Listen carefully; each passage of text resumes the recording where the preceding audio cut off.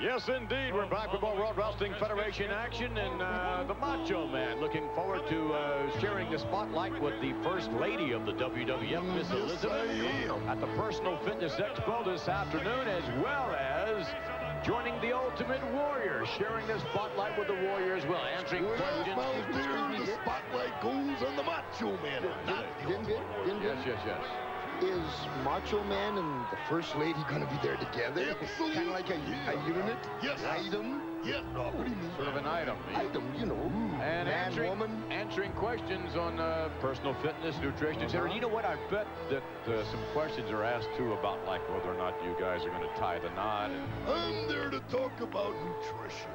Nutrition. Nutrition. Things that are good for your body and things that would be good for your body, Vince McMahon and Roddy Piper, is to get off this subject and get on to another subject. Oh, touchy, okay. touchy, touchy, huh? Got it. Um, we hit a and of course, the Ultimate Warrior will be there answering questions. And then from there, all three of you will have an opportunity to sit back later tonight.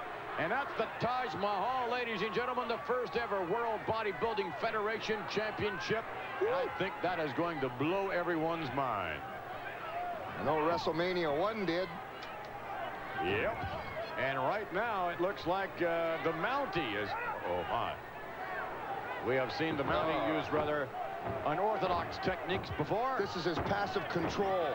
It is, huh? That's what he says. We had an occasion to record some comments earlier on from the big boss man concerning the Mountie. Here's what he had to say. Canadian Mountie, you made it to the top of the big boss man's most wanted list.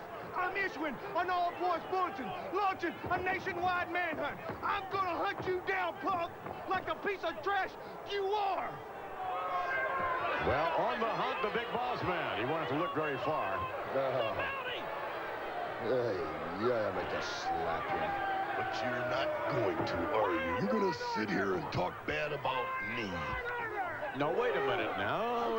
We, we got I'm not touchy, subject. and I'm not sensitive, and I don't wear my heart on my sleeve. We got off the subject about you and Liz, but do you want to pull us back on it? You just did it, Vince McMahon. You just did it You're going to be at the Personal Fitness Expo. You're going to be There's the tonight Mountie right there. championship for the WBF. Vincent. And you know what? A lot of people are going to be watching you. Oh, boy. And It happens to me all the time, Vince McMahon. People watch me everywhere I go. Yes, they do. Vincent, I think, in, I think we're talking therapy here. Is that a new wrestler coming in the World Wrestling Federation, the Therapy Brothers? Sure, Randy, uh-huh. sure enough. And an easy three here.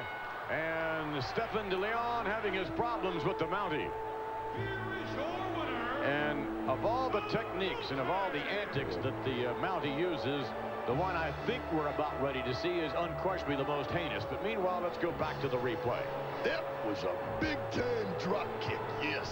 And now the Mountie picks him up and brings him right to the mat. The World Bodybuilding Federation Championship, I'm going to do that to the Warrior. Maybe I will, and maybe I will. Uh-huh. He's the law and order, all right. And unfortunately, again, we see DeLeon locked up. Uh, oh, and now words from the Mountie. Oh, terrific.